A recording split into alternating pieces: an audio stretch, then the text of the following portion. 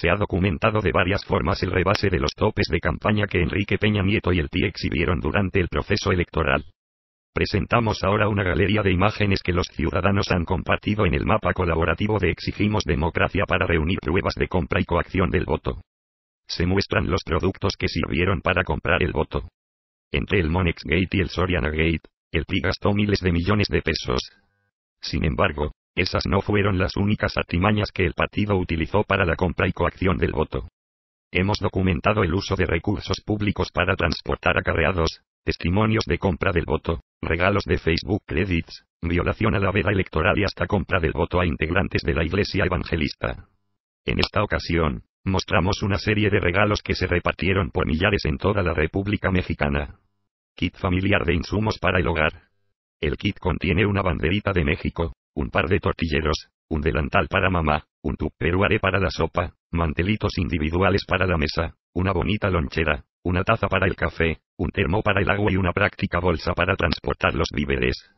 También cuentan con otra versión más completa que contiene un paraguas, cuatro termos, una taza para el café, una jarra con cuatro vasos, dos cubetas, un topperware, una regla, un tortillero, un delantal, un abanico, una bolsa roja y un cómodo carrito con ruedas para el supermercado.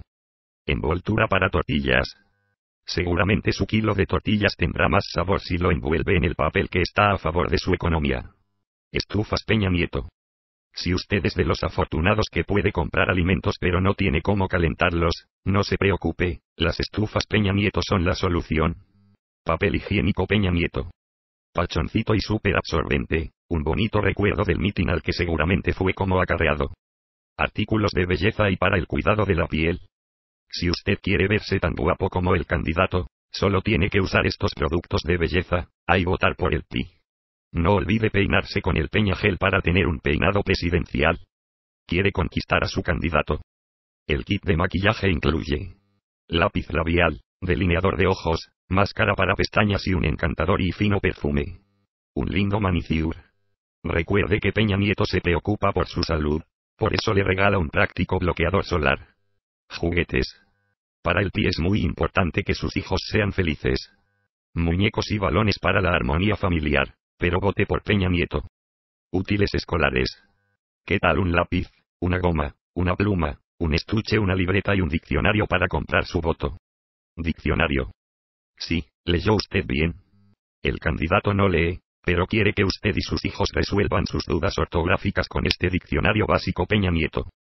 Su salud es primero. Una nutritiva barrita Brand Fruit de Bimbo comprada en Soriana con las propuestas para los jóvenes. Tiene que ir al dentista.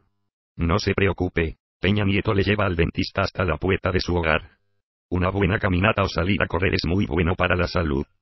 Si vota por el PRI, le regalan estas exclusivas zapatillas deportivas. Claro, si prefiere andar en bici, también el PRI le regala la bicicleta. En la unidad médica móvil puede consultar a los médicos del PRI a cambio del voto. Gasolina. No se preocupe más por los gasolinazos. Si el PRI queda en el poder, subirá la gasolina, pero al menos usted ya tendrá unos 10 litros gratis con la gasolina Peña Nieto. Fundas para celular. Si su único bien es un celular, este quedará protegido con las bonitas fundas de Peña Nieto. Relojes. ¿Quiere saber cuánto falta para que termine el sexenio? El PRI tiene la solución, porte uno de estos bonitos relojes y olvídese del tiempo. Estos son solo algunos ejemplos de la cantidad de dinero que usó Peña Nieto para coaccionar el voto. ¿Usted cree que no excedió los gastos de campaña? Para seguir subiendo evidencias de compra y coacción del voto al sitio web Almohadilla Exigimos Democracia, hemos preparado un tutorial para que sepa cómo se deben armar las pruebas para que sirvan a una futura impugnación de los resultados electorales del 1 de julio del 2012. Convocamos a la sociedad en general a seguir participando y a denunciar todas las anomalías que hayan sucedido antes y después de la elección. Su denuncia debe incluir fotografía o video que documente el hecho pues solo así podremos impugnar estas elecciones. Los mexicanos exigimos democracia.